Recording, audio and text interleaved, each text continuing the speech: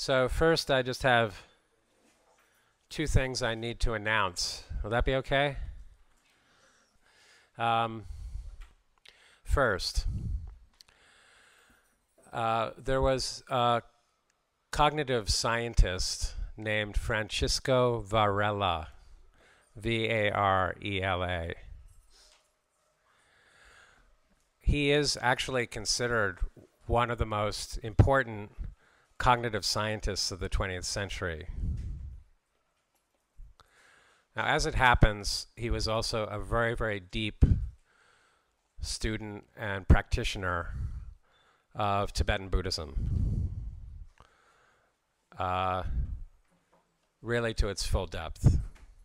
So that's quite a remarkable coming together of things, isn't it? One of the most brilliant cognitive scientists this is well accepted, and one of the most important in the 20th century, and someone who became quite familiar with accessing the deep nature of mind. By the way, I've got to recommend a little book of his. So it's by Varela, V A R E L A, called Ethical Know How. Dan, I'm telling you, you read that, it'll it'll blow your socks off. Yeah, I mean, you're you'll love it. You'll love it. the little I know you, I know that. but so will the rest of you. It's incredible, and it's only 77 pages long. So he, prevents, he presents the emerging understandings in cognitive science in a pretty accessible way. In like the first, I don't know, 65 pages, and then in about 12 or I guess, or perhaps 15 pages, he explains the very heart of deepest Buddhist understanding in about 12 pages or 15 pages as as well expressed as I've ever seen it anywhere and as complete. It's unbelievable.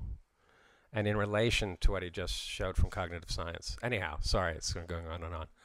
This was supposed to be an announcement. Well, it was, like ethical know-how. Remember that title. Secondly, he a video was made of him talking a little bit about his life and how he met the Dharma just before he died. He was dying and knew it when the video was made. And he explains why he's not afraid of dying. It's a very powerful video. And Rinpoche, Chökyi Nyima Rinpoche, asked me to make it a point to make that announcement about that video. Now, the tricky thing is it needs permission to access it. It's on YouTube, I think. So, Rinpoche has it on his iPad. Someone gave it to him, but we don't have access to it. However, there are smart people around here in the administration of RYI who hopefully can figure that out. So, some announcement will be made uh, when they figure that out, how to access that video. Okay? Uh, secondly, some of you have been talking to me, sometimes a bit intensely, which is wonderful, with, with great sincerity, really trying to dig into this stuff that, that's been erased by what I've been, you know, sharing. So I, I, I, it, I realized that I should mention that I wrote a book a few years ago called Awakening Through Love, Unveiling Your Deepest Goodness. So, Awakening Through Love. And as it happens, the RYI library has two copies of it. And then I realized that some of you may want to see it. The kinds of questions you've been asking me would, you know, be answered in it. So, but that that book is really written for two target audiences, not all three that I've mentioned I was aiming at in these talks, but uh, I'm sorry, that I aim at in the larger world. The three groups are people in caring roles and professions. One. Then two, Buddhists, especially perhaps modern Buddhists, like you guys. I mean, like many of you guys, but some of you are also Christian or Hindu, which is great. And that's the third group, is people from other religious and spiritual traditions who want to learn something very deep from Buddhism at an experiential level, not just interesting intellectual ideas. Is that clear? Those are the three target groups. Now, as I've been speaking this week, my primary target group has been the last two. That is, many of you are Buddhists, many others of you are um, practicing other faiths. And I spoke in the way I did here with that in mind. This is not how I present in a room of social workers who came to learn something about more sustainable compassion in their work. I don't go into the, as as great a depth or into as deep a level as I've as I'm doing here. I don't have to get into as much discussion as I did here of nature of mind, of the deep nature of awareness, which is emptiness and clarity and compassionate energy. I don't get into all that. So this is its own target groups, two target groups here. That in the Awakening Through Love book, for those of you who, who seek it out here in the library, you should just connect with Ishvara. He, he said he, he put it on display, and there's a copy kept in reserve so people can look at it in the library. Just connect with Ishvara for it. Or look it up on your in your library online catalog that book was written also for those two target groups, not for primarily for people in caring roles and professions. So its aim is to go very deep from a uh, Nyingma Dzogchen perspective. And the practices were first presented there, and then you'll see on your handout that I've they've transformed a bit to try to make them more accessible and shorter than what's in that book. So that's called Awakening Through Love. Okay? So those are my two announcements. Oh, there's actually a third announcement, which is just, I think many of you are already aware, but I teach within an organization in the United States called Foundation for Active Compassion, and you see it, the website for it on your handouts on the bottom of each page and on the first page. And there's a group of about 35 other meditation teachers who help me hold this way of practicing and sharing this kind of practice in, throughout the United States. And one of them also um, also came shortly after I did here to Nepal to experience RYI. She's sitting in on classes, and um, she's also a meditation teacher within that my organization. Um, and so her name's Jana, and she's sitting in the back there, like in the back corner. So I think many of you have met her, but just I'm leaving tomorrow at 6 a.m. So John is staying for a few more days, so you may have questions of her. Okay? That's all the announcements. Now I have to find my notes.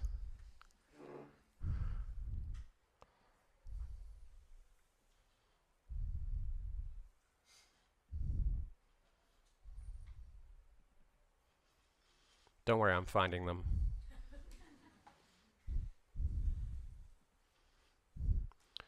Last night I growled to illustrate what how fast a different part of us, a different sense of self can emerge.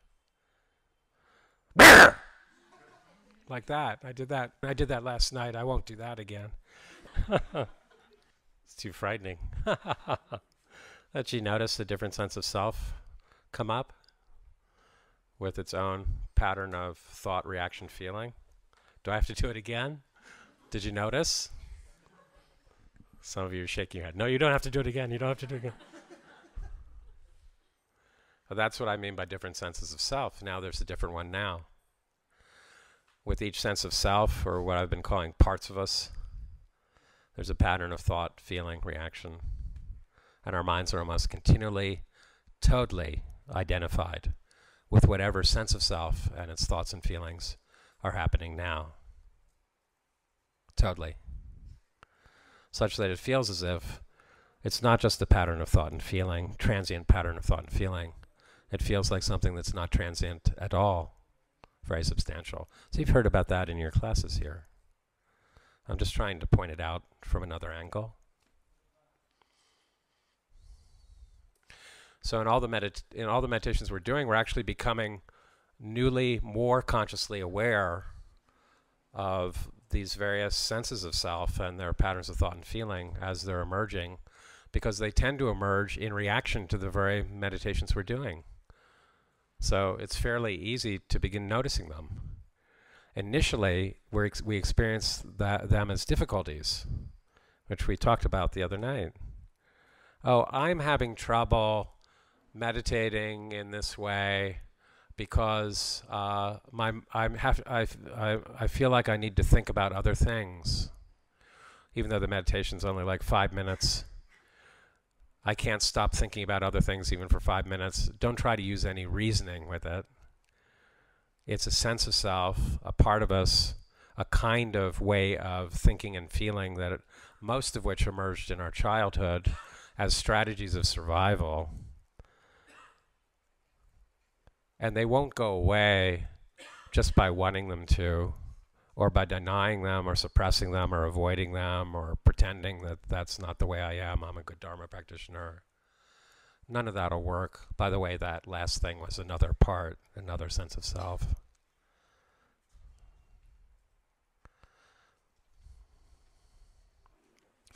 Since whatever meditation we do actually provokes this or that sense of self into emerging, in a sense, in defense against where the meditation is taking us, because these parts of us don't trust where the meditation is taking us, because the meditation is opening access to qualities of warmth, love, acceptance, compassion, right?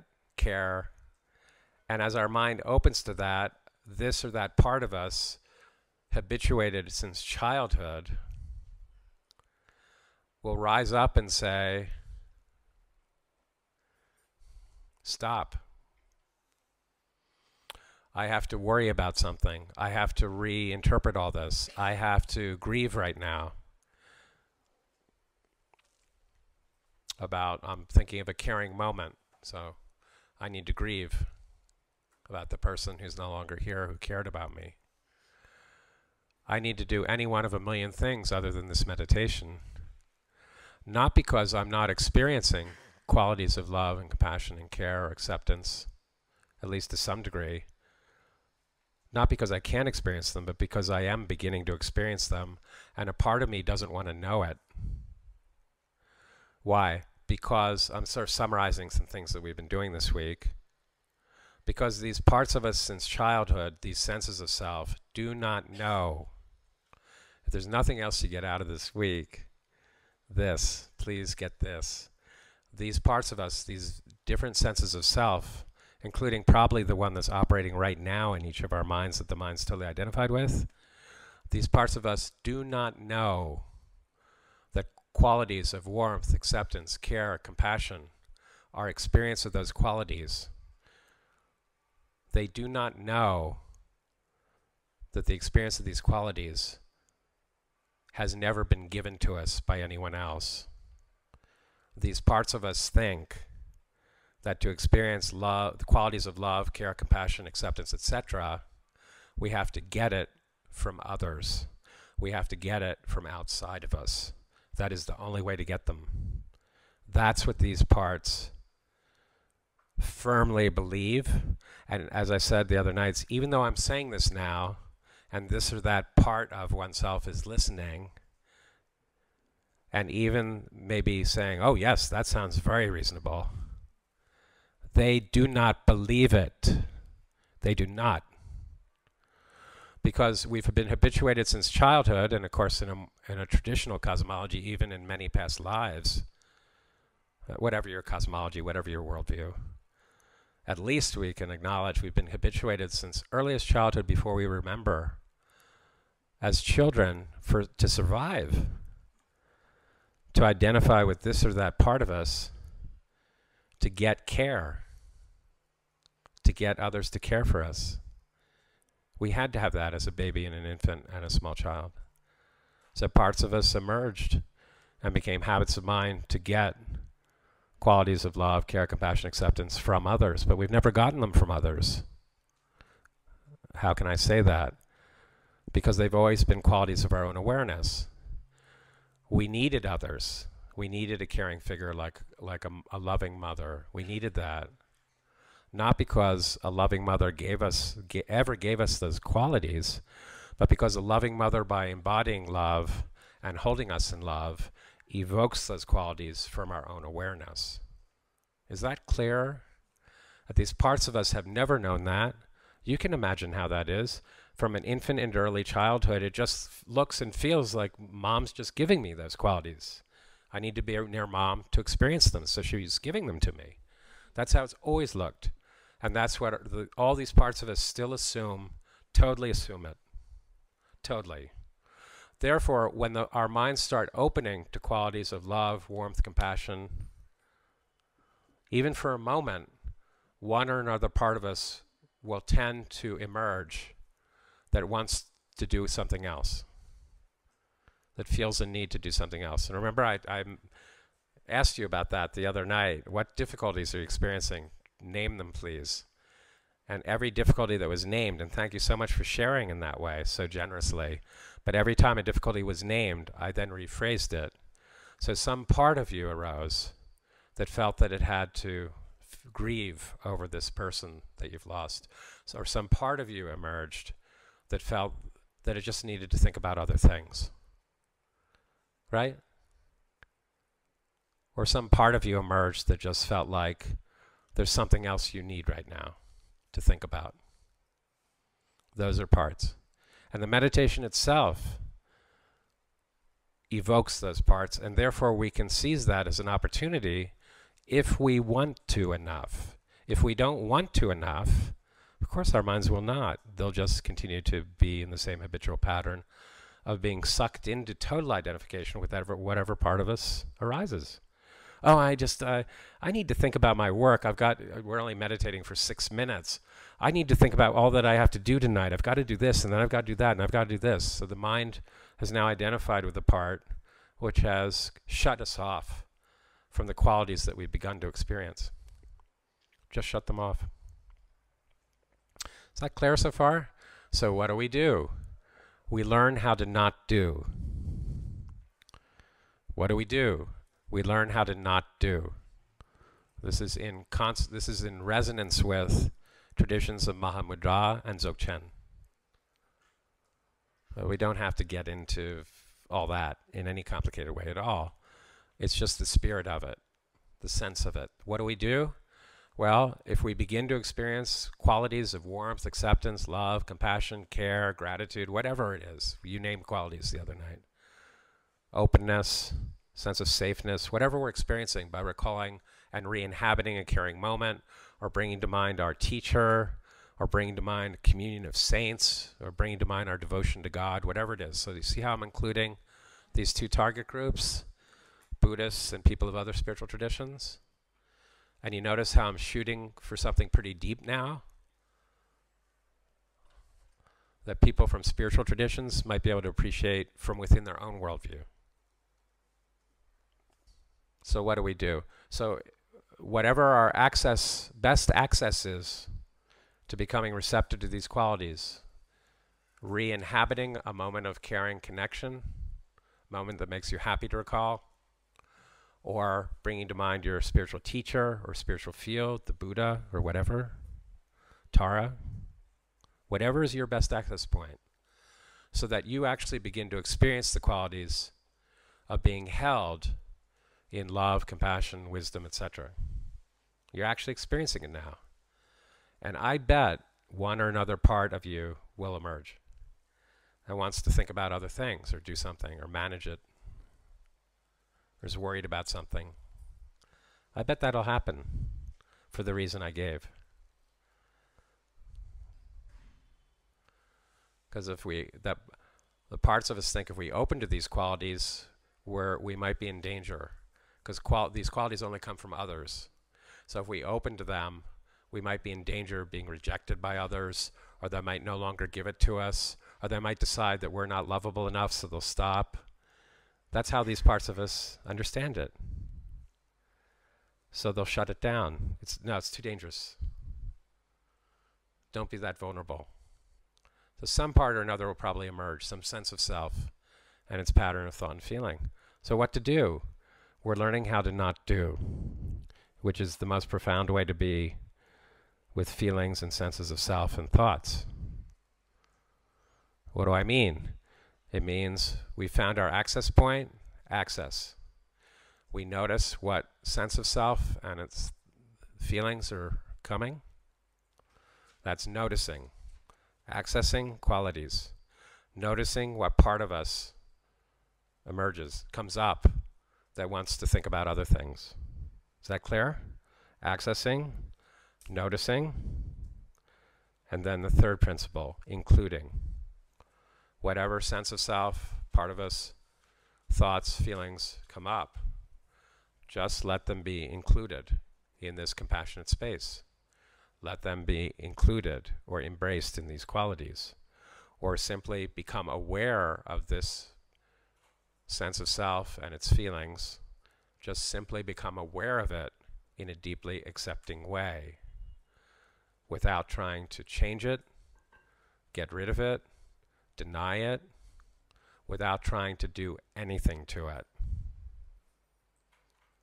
Trusting it to know how to settle and relax when it is provided the space to do so, which we have never before done before, and therefore it, it didn't have the permission it needed to do that, to find its own way of being here.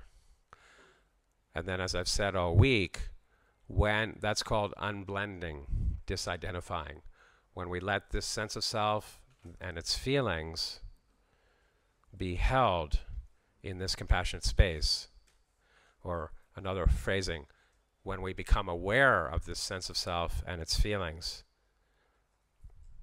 in a deeply accepting way. What does that mean? Allowing it, allowing it, doing nothing just being with it in a way that lets it be here fully.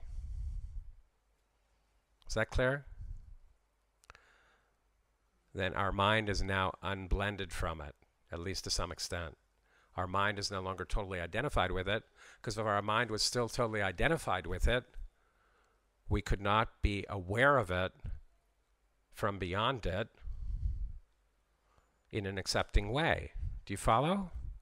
to be aware of it in an accepting way is not to be it it's to be accepting it that means that your mind is no longer no longer thinks it's it is that clear this is really profound so it's in continuity with the whole direction of what becomes mahamudra and dzogchen which are the deepest parts of nyingma and kagyu tibetan experience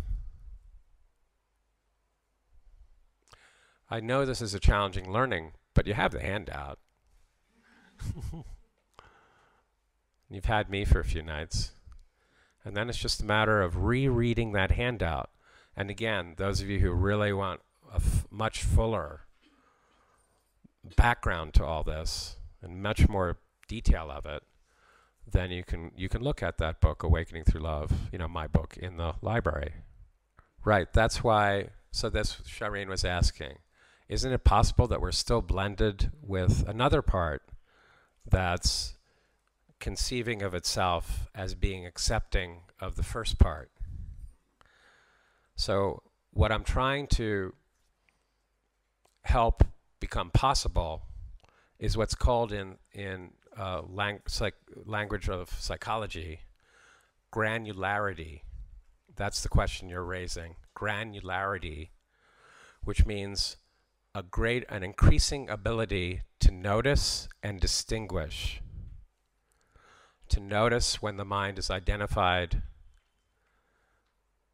with a part with a sense of self then if there's any sense of aversion or grasping or clinging or wanting or having any agenda at all to actually begin to be able to notice that And if that's the case, the mind is now identified with a different part, a different sense of self, that's now relating to the first sense of self. Granularity means the ability to notice finer and finer distinctions. And that's what I'm trying to help you with. In greater and greater granularity, the ability to notice distinctions, to notice more finely when the mind is identified with this or that part, to notice parts rather than just be completely identified with them. To notice when the mind's identified with, which is a very frequent thing for many of us, a part of oneself that's trying to be a really good Dharma practitioner and therefore thinks that we are being a really good Dharma practitioner because that part of us is thinking that way. Not actually being aware of that sense of self, but just being identified with that sense of self.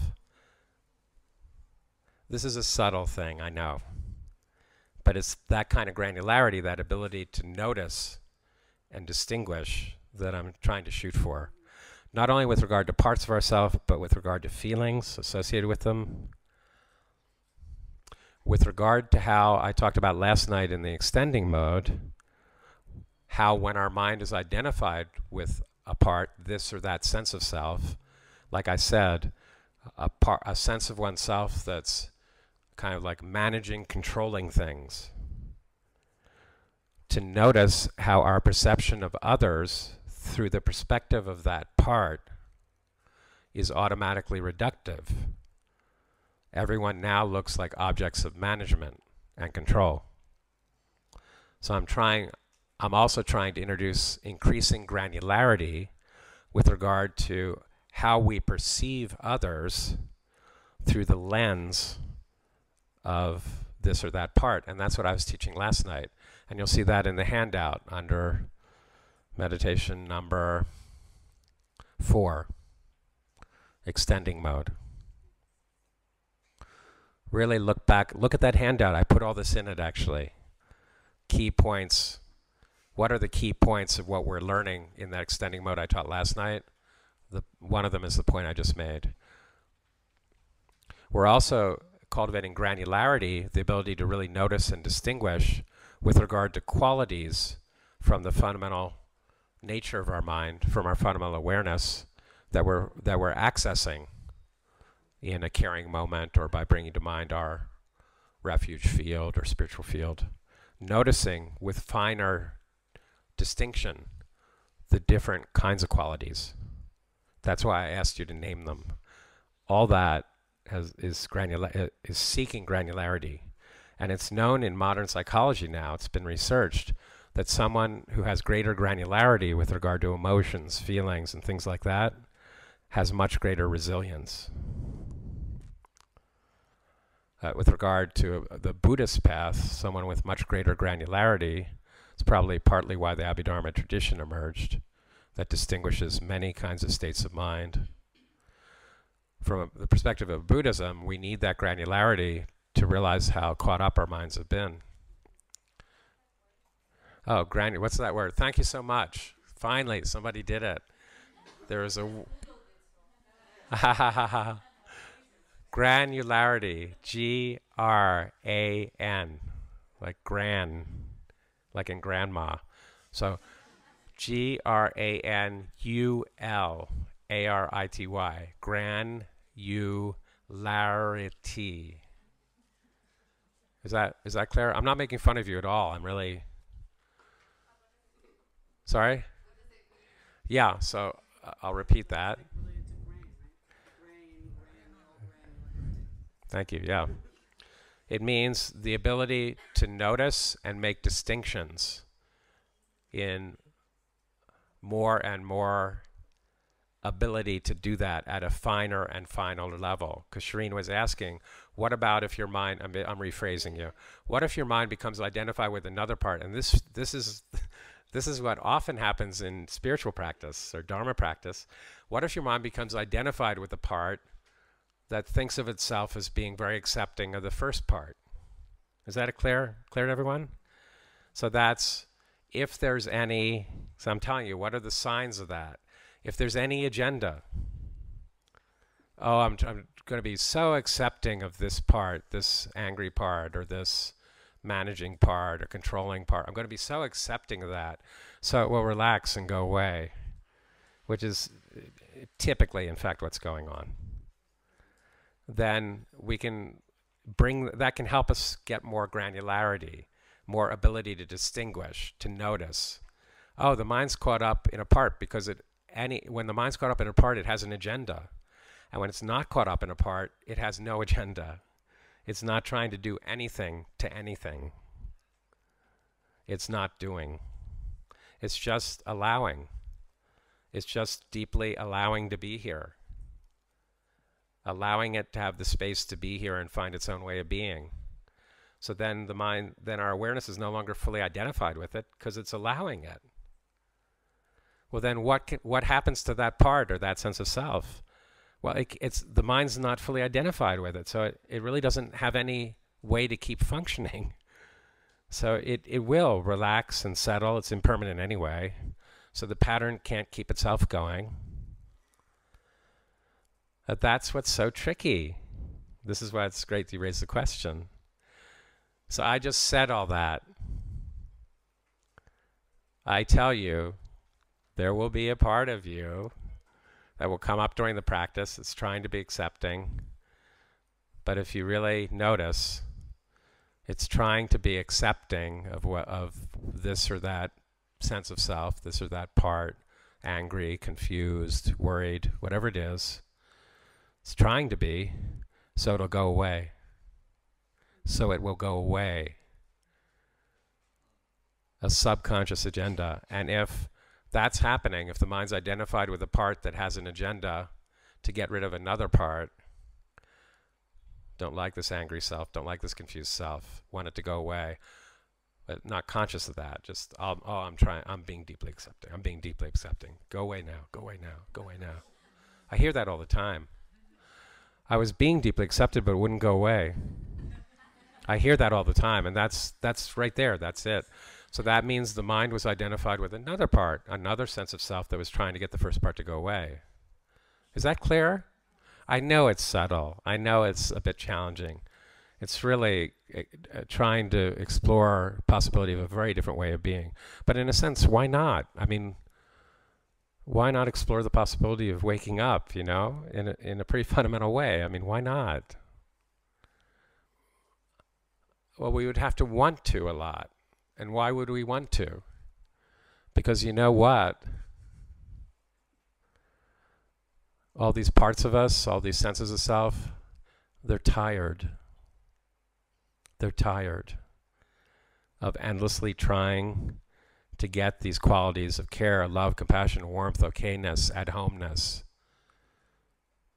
They're exhausted because they can't get them in all the ways they've been trying, because they don't come from others and they don't come from outside. So all these parts of us are exhausted it's like rats on a wheel. It's endless.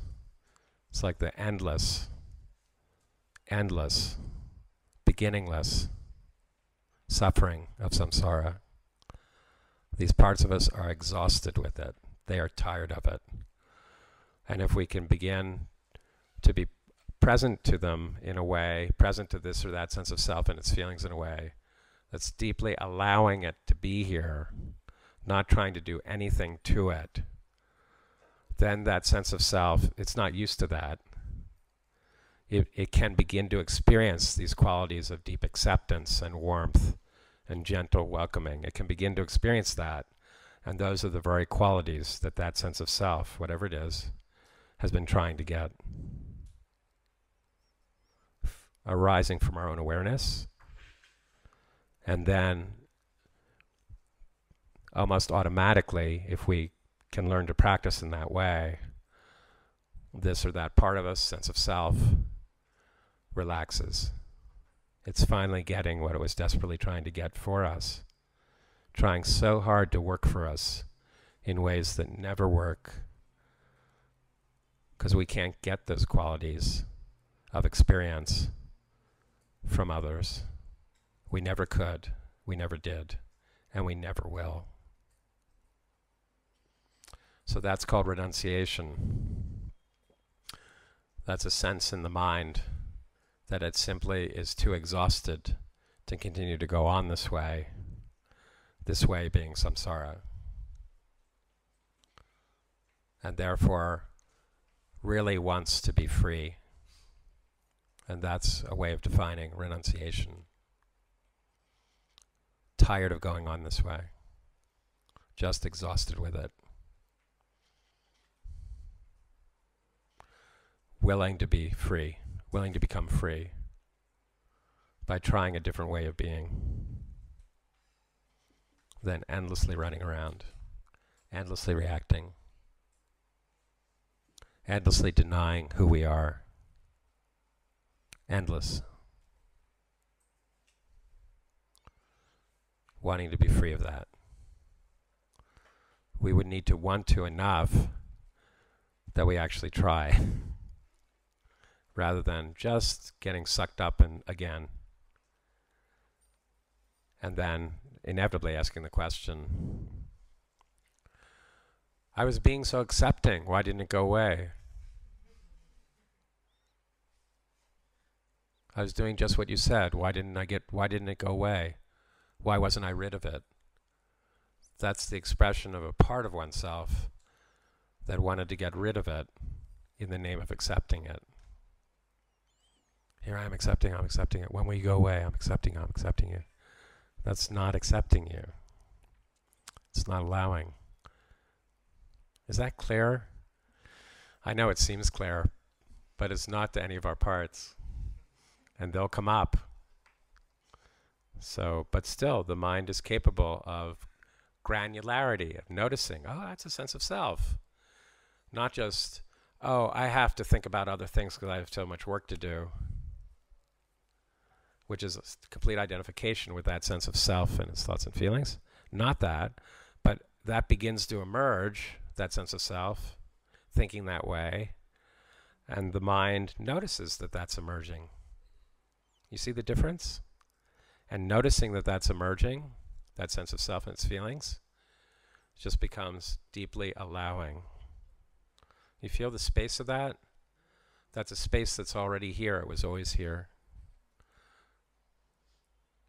Allowing the space that was al always here to welcome that sense of self and its feelings. So that's what we've been doing, building up through the week, and you have it in the handouts. We did meditations one and two and four. Four was last night, extending mode. We did meditation five, letting be, which is deepening mode, which is also the releasing phase of every meditation. That was meditation five. Meditation four, extending mode, is what we did last night. Letting these powers of care, warmth, acceptance extend through us and help us to commune and wish well. See more there than our limiting impression. Just an old guy, just an old woman, just one of those. Oh my gosh.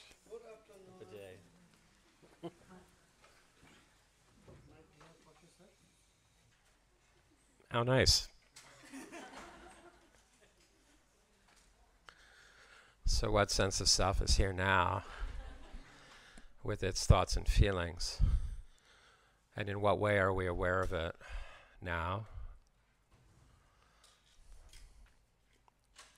That's meditation six. That's a more immediate and direct, just clicking into it. That's sort of like having maybe done some receptive mode practice that can help us to catch on to the possibility that we could just click into that that sense of becoming aware of whatever sense of self and its feelings are here now in a deeply allowing way. And that's the direction toward, you know, really meeting uh, a High Lama like Chökyi Nyima Rinpoche from a a kind of awareness that isn't just caught up in our own reactions. Is that sort of clear? Yeah, like that. A little more like he is. You know, just a little even, but that's still a big deal.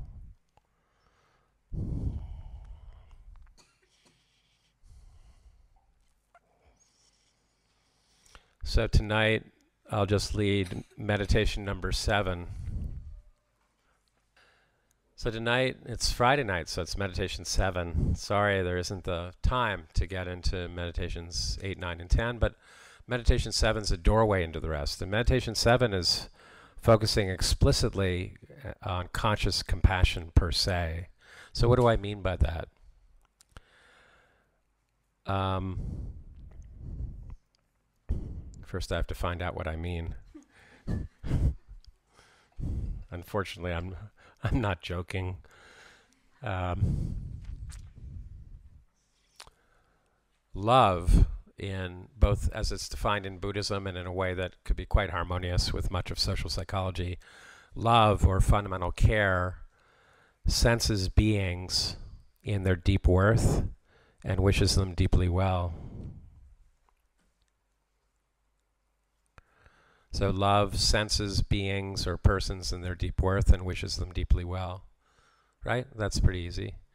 So what is compassion? Compassion is a form of love. So when we have love or, or basic care for others, and we notice that they're suffering and empathize with them in their suffering, then our love, our love that's wishing them well becomes compassion. The compassionate wish for them to be free of the distress and suffering so they can be well, which can then become other forms of action to relieve suffering. Is that clear? So compassion is a form of love. It's just a form of love that's noticing the suffering. It wants beings to be well. That's what love is. It wants someone to be well, happy, flourishing, noticing that they're suffering, it wants them to be free of the suffering so they can be well. You see how close compassion is, how much it's an expression of love. Just wants them to be really well. As well as absolutely possible. Each in their own way.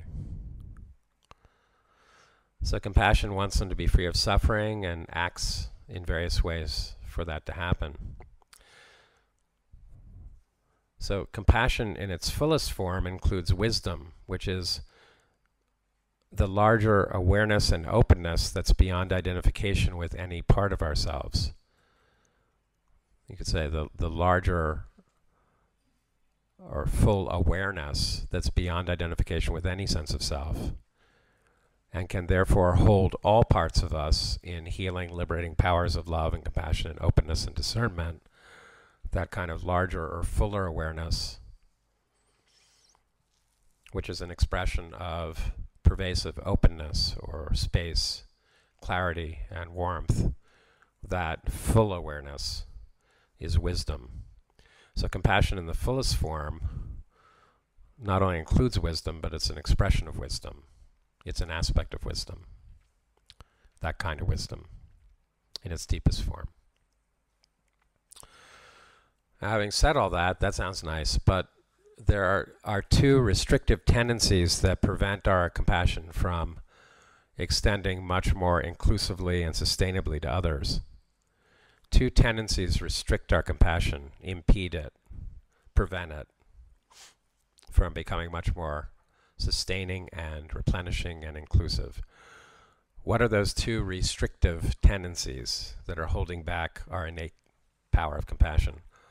The first is a tendency to direct love and care, and therefore also compassion, just to those in our narrow in group, just to the ones that we think matter. The others don't matter or don't matter nearly as much. Everybody who walks in, I think it's Rinpoche now. oh, thank you, Lakshmi. Maybe there, there's, that's true on some level. I mean, Rinpoche means precious, doesn't it? Maybe that's what everyone is. I hadn't noticed. So that's what I mean by a restrictive tendency, not noticing how precious everyone is. just a few. The ones who seem to matter. Is that clear? That's the first restriction. So the meditations we've been doing, including up to the ones we did started to do last night, actually involved there are practice of extending love further and further and wider and wider to include more and more until we're even surprised that we could ever include that person or that being. I won't name the the kind of example. I think I brought him up the other night. Oh my gosh, I could even include him, the president of my country, so-called president. I could even include him, even while having a very strong ability to totally disagree with the way he thinks and all of his policies, and still actually be disagreeing with him not only on behalf of others against him, but also for him, for him. So that's this extending mode of love or care, which does not erase disagreement, but it establishes a very different posture for being able to disagree or challenge or confront, not on behalf of others against the one we're confronting, but simultaneously on behalf of the one we're confronting just as much as anyone else. Someone might say, well, that's impossible, but not at all. That's exactly the posture that Gandhi took, Martin Luther King, Thich Nhat Hanh, the Dalai Lama, Chökyi Nyima Rinpoche, on and on and on. That's exactly their perspective and what they do. Exactly it. So this first restrictive tendency we're already beginning to address in the meditations up to what we did last night. Is that clear? This fuller and fuller extending. This deeper and deeper sensing that there's more to everyone than our reductive limiting impression is making of them oh, just a woman, oh, just a guy, oh, just an old guy, or just one of those people, or oh, now my son is coming. Oh boy, the one who's important has arrived. All the others are pieces of wood. Sorry, but let's be really observant and frank with what's going on here. I mean, not necessarily right here in this room, but you know. You see what I mean? So the extending mode practice is actually sensing our way with the help of the loving energy into the mystery of how much more there is to everyone than we've noticed. Know, maybe they're all Rinpoche. Maybe. Actually, they are. Of course, they are. Actually, we believe that. But can we actually sense it? That's what we're shooting for. Okay, so the first restrictive tendency, restrictive tendency, is already being addressed. This is the second restrictive tendency is more subtle, and that's to have compassion for others only when we perceive them undergoing an obvious form of suffering. Otherwise, it wouldn't even occur to us to have compassion because we don't perceive them as suffering in any way unless it's an obvious form. Like severe illness or intense pain. So, of course, compassion is important then and compassionate action to help relieve the suffering, of course, but a more fully aware compassion doesn't stop just at obvious layers of suffering. It's also conscious of hidden layers in everyone. Hidden layers, not even conscious. Many of them not even conscious to us or not fully conscious. That everyone is actually experiencing and we haven't been noticing because we haven't noticed it in ourselves, so we can't notice it in others. So, how could we empathize with others because we haven't we haven't the basis in our own experience to have even noticed we haven't yet attained the granularity of distinguishing different kinds of suffering many of which have been subconscious in ourselves so we haven't been able to be conscious of, of others in their hidden layers of suffering their fear of dying their fear for their loved ones we haven't been conscious of that because our mind's suppressing the awareness of that fear in ourselves, which is operative in all our behavior. Is that clear so far? So this is the second restrictive tendency. A tendency to have compassion for others only when they're severely ill or dying or something like that. Not noticing underlying layers of suffering that they're not fully conscious of, and we certainly haven't been, so we can't notice it in them. fear, struggles, grief, stress, often not conscious or not fully conscious. So, a compassion that becomes aware of those layers of suffering automatically encompasses everyone, everyone we meet or even think of. Aware that each being undergoes inner sufferings beyond what is obvious. Is that clear? But how do we attain that kind of awareness, that kind of compassion that is aware of these hidden layers of suffering? There's no way to do that except to be first to become conscious of underlying feelings of suffering in ourselves that have not been fully conscious to us. There's no other way. I mean, we have to become more conscious of those layers in ourselves, and then automatically we can begin to notice how that's also in others in the in how their their eyes are in how they are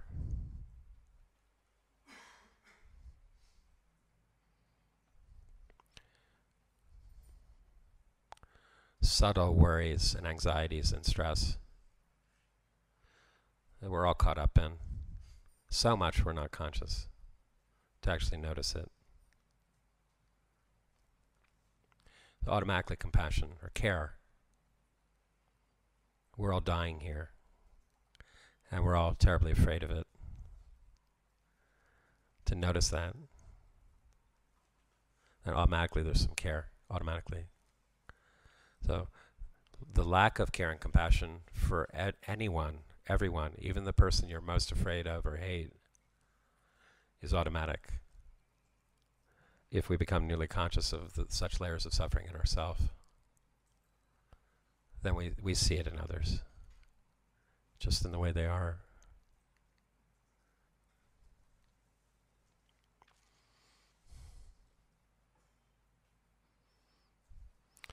So the next meditation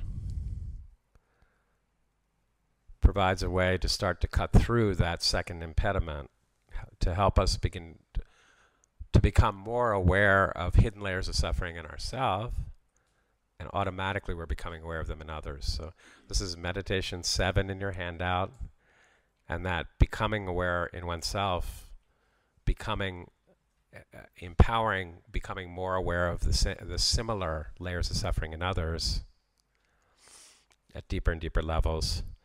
That becomes meditation seven to eight then meditation nine becomes generating a very strong will of compassion, a very strong kind of will of compassion for action. But we can't get to this very strong will of compassion for action that becomes kind of more and more indomitable or unstoppable, kind of like Rinpoche or the Dalai Lama or people like that. We can't get to that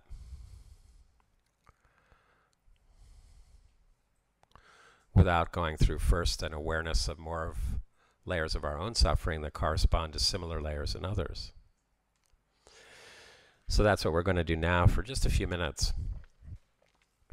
A way to become more conscious of our inner layers of suffering, to empower compassion for others with analogous layers. So, part of the reason why we've never, why most of us have not been able to do this before, to become aware, for example, of our fear of dying or things like that, fear for our loved ones, which people in every culture have these kinds of feelings in their own ways. The part of the reason we haven't been able to is because because we did not have a secure enough base of safety, an inner core of safety in ourselves, from which we felt safe enough to do that. And that's what we've been building up. Obviously, it's more than just one evening at a time through five days. Over some months of practice, if someone takes up this direction of practice, we're establishing a more and more secure base and ability to access qualities from the deep nature of our mind. So when we feel like we're losing our footing, not only in meditation but in life, we know how to reconnect with those qualities of warmth, acceptance, love, compassion, inner safety, we know how to reconnect. So that's an inner secure base, or we could call it inner refuge. So, clear enough so far? We haven't had enough of that. So we haven't. I'm, I'm just. I'm speak. I realize I'm speaking on behalf of you, but time is short. So I'm including myself in that way. So we haven't had enough of of that inner core of connection with qualities of the nature of our mind, an inner core of security from which we, we can become newly and more consciously aware of our fear of things, which I'll give a list of to help you select. You can pick one. It's like a menu. I'm losing my footing.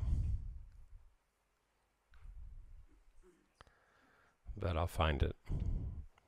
I know how to reconnect to my computer documents. Okay, so we need to connect with a suffering feeling that's familiar to us. We're going to begin in the receptive mode again, and that establishes, that can at least establish, if we become familiar enough with it. I think many of us can at least to some degree access certainly qualities of love, compassion, warmth, acceptance by re inhabiting a caring moment as if it's happening now, or by bringing to mind our teacher or our uh, spiritual field, then right away we be actually begin to experience qualities which we named acceptance, warmth, care, compassion. And that can begin to establish a secure enough base, an inner sense of refuge enough, that we have an, enough of an inner sense of safety to explore one of these kinds of feelings. So I'll give you a list, you can choose one, or it may just evoke your uh, another kind of feeling that's not on the list that's familiar to you kind of like one of these. Is that clear? So please listen and uh, try to pick one of these. Ready one would be becoming conscious of a feeling of physical pain anywhere. Does anybody ever feel any physical pain? Does anybody feel any now? If you're lucky enough to have a chronic condition of pain, like some of us have, then you have you have something right now. Those who do not have a chronic pain, painful thing, then you're not the lucky ones for this meditation. So we need to go further down the list, okay? For you unlucky ones who do not have chronic pain. It could also be just some anxiety you have about your body or your health it could be a feeling of not being seen or included, or of being looked down upon. It could be a feeling of intense longing, incompleteness, or addiction. It could be a feeling of failure, hopelessness, or despair. I'm hopeless. I'm unimprovable. It could be a feeling of grief at the loss of a loved one, or grief at the loss of anything, such as a job, a relationship, or a way of life. It could be a feeling of anxiety over meeting all your obligations, or of attaining enough security for yourself or your family. It could be a feeling of fear for a loved one in their vulnerability or mortality. It could be fears you have over severe illness or accident or violence or injury. It could be fears that you may feel at your own impending death. So that gives you an idea. And yes, I think it's I think we do share feelings like that in our own ways in every culture. No, I don't think there's a culture that it's an exception of that. I don't think this is a projection of empathy. Oh, only some of us fear death and the others don't because their culture doesn't fear death. No, I do not think that's the case. It is true, though, that how people experience these kinds of feelings will be different according to their own culture and location. Of course, that's the case. That these are human feelings, basically. So, could you pick one? Or you get the idea? You're basically just picking a feeling that's really difficult for you. Okay? Can everybody identify one? So I'll give you an example. For me, what's immediate and easy to connect with because I have children is fear for loved ones in their vulnerability and mortality. They don't know yet, when they're young, that they could die at any time. Anything can happen to them. They don't know that. They're not ready to know that. But I know that. I know that when they go out the door. So, fear for my loved ones in their vulnerability and mortality is very easy for me to connect with. Also, pain, physical pain. Uh, the first one's more, actually, more. Okay, so that's just an example. See what it is for you. Okay, can everybody pick something? Okay, so we're going to begin in the receptive mode. This will be very short. Don't worry. Oh, that's right. First, we have to stretch. How to do that? How do we do that?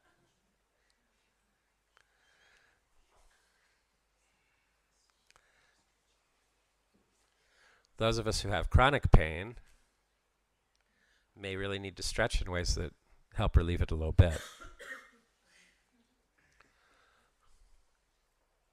Not that any of us would have anything like that.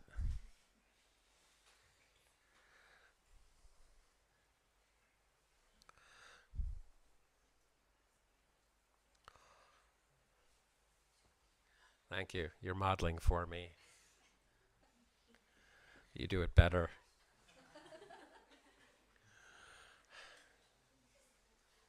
I did I did not really know how to do it until I saw you doing it. Thank you, Kunzang. So we'll begin with some abdominal breathing. So the tummy's expanding on the inhale. Exhale is relaxed and slow, complete. Pause a little bit at the end of the exhale. And then again, the tummy expands on the inhale. Isn't that relaxing?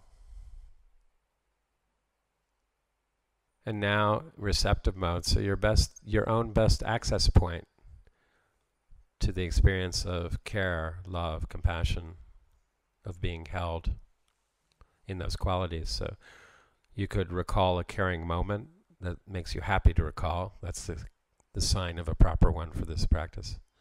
Makes you happy to recall. Just a moment with someone, human or animal, makes you happy to recall.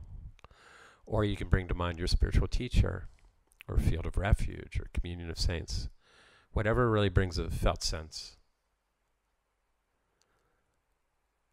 Now, if it's a caring moment, you, we need to inhabit it as happening now. It's not just a memory in the past. That person or being is with you now in that way, in that place, here.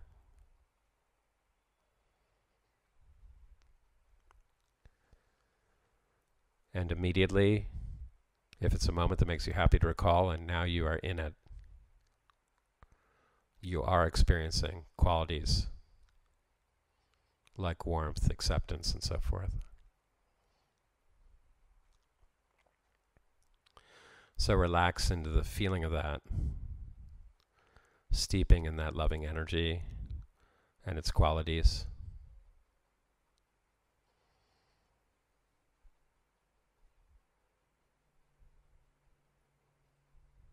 Into your whole body and mind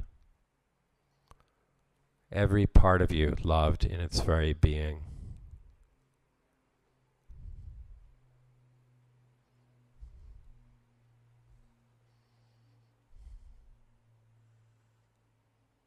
Just accepting it, allowing it.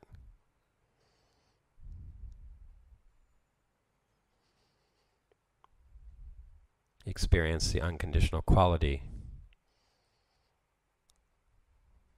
of this deep acceptance.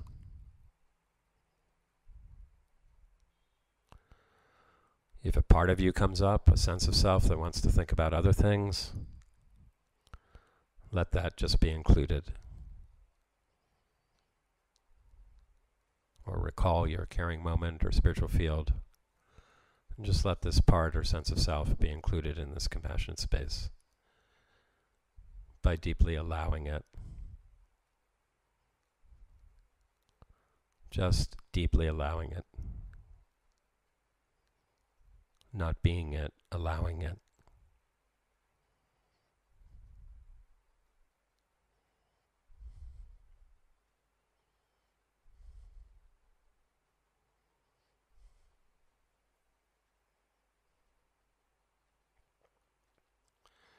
And now bring to mind the feeling that you selected from the list, or the feeling that's very difficult for you, like for me, the feeling of fear for my children in their vulnerability and mortality.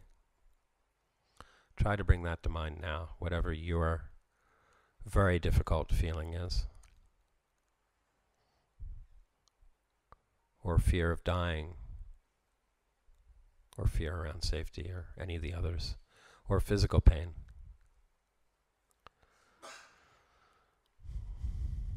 And just take a little time now to sense what it's like for someone to experience that feeling through your own experience of it.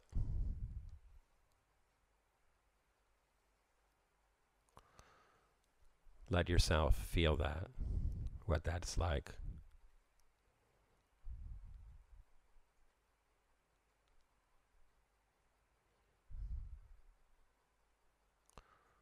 That difficult feeling. Try to really feel what it's like for you as an example of many others.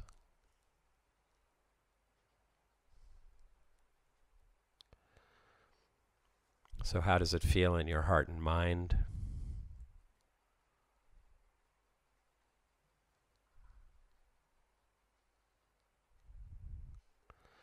And how does it feel in the body?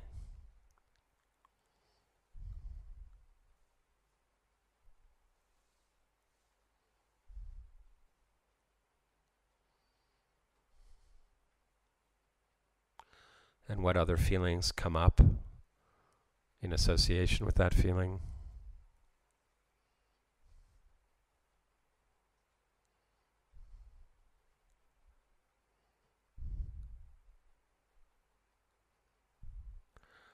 How does the whole world look and feel from within this feeling?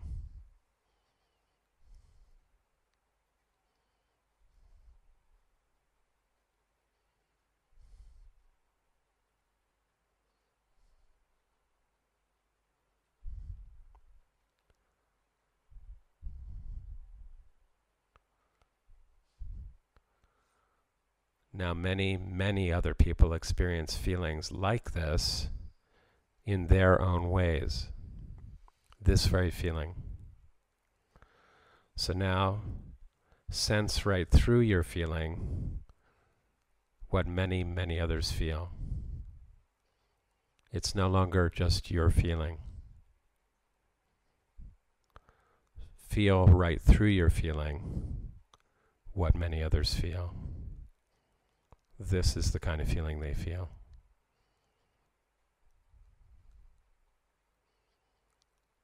This is what it's like for them. This is what it's like for them.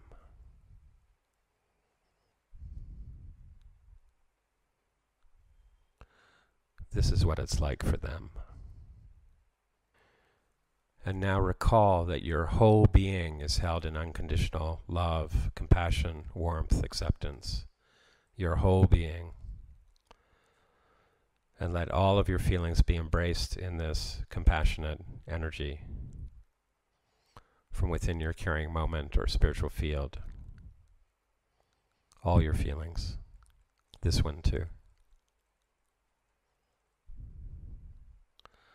And by accepting this loving energy into your own difficult feelings, imagine that you're accepting it into everyone's analogous feelings, everyone's similar feelings, by letting the radiance of this caring energy extend through you to them all. Extend through you to everyone who experiences similar feelings. Letting it come through you to them all. Wishing them deeply well and free of distress and suffering.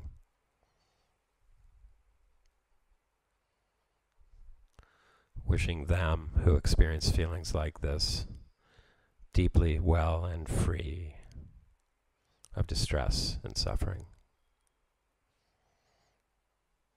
Wishing all, wishing all those others who experience feelings like that deeply well and free.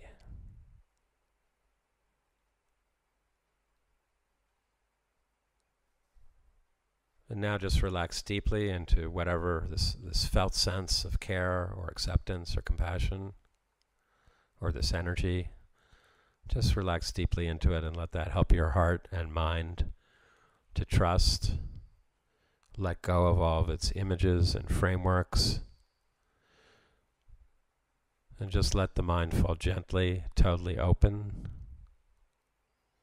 like space. Let the mind reunite with the natural openness that's already here.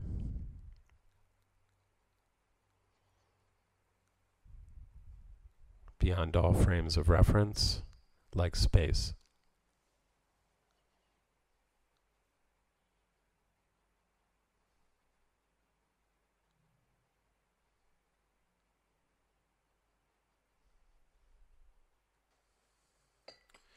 So I'm showing you how to drink it. you can drink yours too if you want. It's up to you.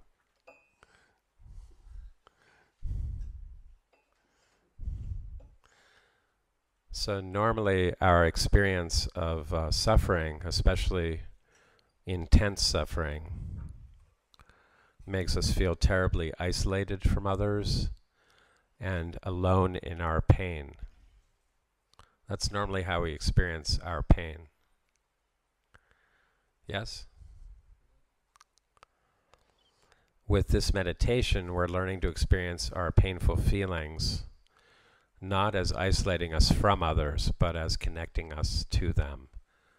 So, in this meditation, we're learning that we can experience our painful feelings not as isolating us from others not as terrible aloneness, but as deeply connecting us to others who undergo similar or analogous kinds of feeling. Like the example I gave about my fear for my children. You all understand that, right? With regard to that kind of fear, with regard to someone in your life, perhaps or at least with regard to yourself. Anything can happen at any moment. There could be an earthquake right now. We all die. You see what I mean? But our conscious mind just doesn't want to know that. Of course. It has not felt safe enough to know that. What if our conscious mind knows that all the time? Knows how terrified at an unconscious level everybody is. What if our conscious mind knew that? How would we see everyone? How would everyone look to us? I mean, how would they, how would we perceive them as deeply worthy of care in their vulnerability and mortality and their fear of it. You see how connecting that is? But I can't be aware in that way unless I'm aware of it in myself.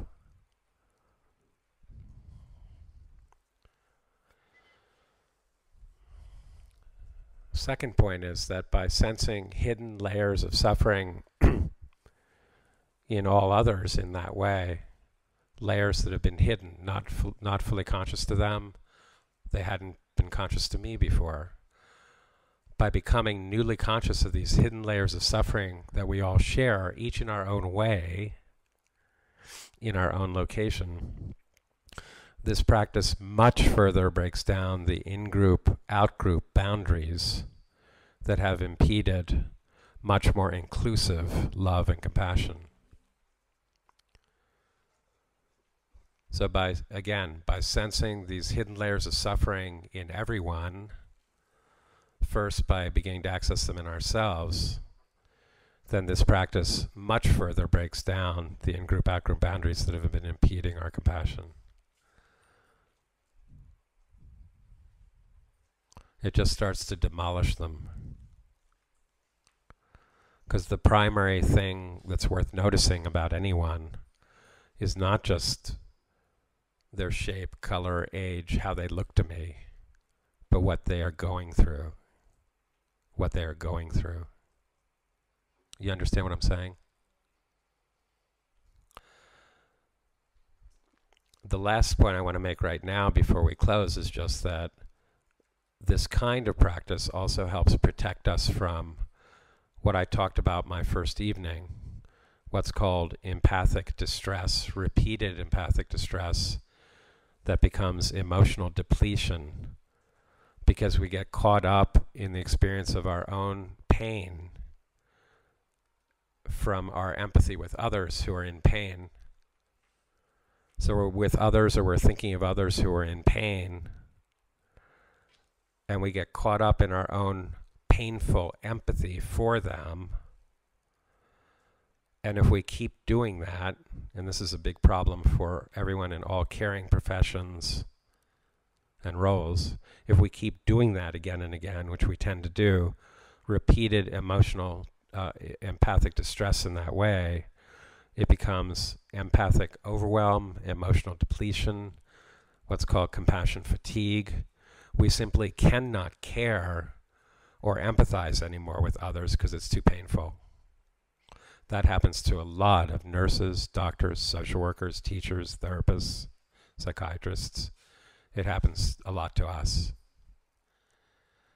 Empathic overwhelm this practice is showing us a way to be protected from that or to help heal that by showing how we have the power to host even our most painful feelings in a deeply healing way.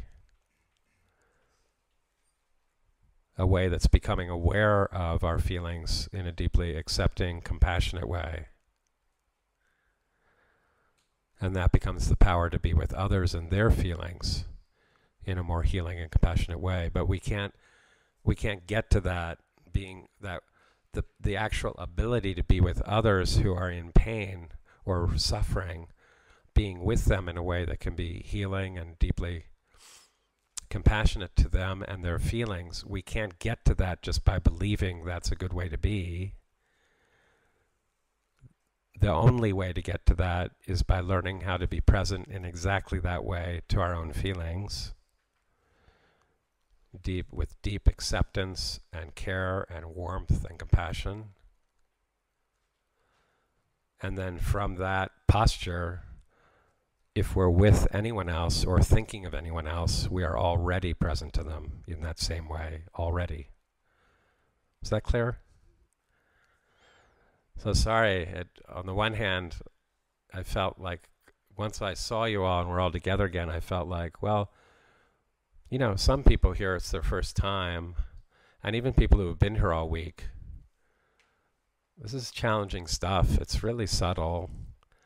I needed to go back over everything we'd done quickly and then introduce our final meditation and process it. So I'm afraid we've run out of time. But the managing, controlling part of me feels quite pleased because it covered everything that needed to be covered for now. And you have the handout, and you know how to access the book that gives more information on all this. So I want to really thank you for your showing up in the way you have, really, the deep sincerity, the deep willingness and commitment, really, to really explore together. I really appreciate that. It was really empowering for me. So thank you all. Yes.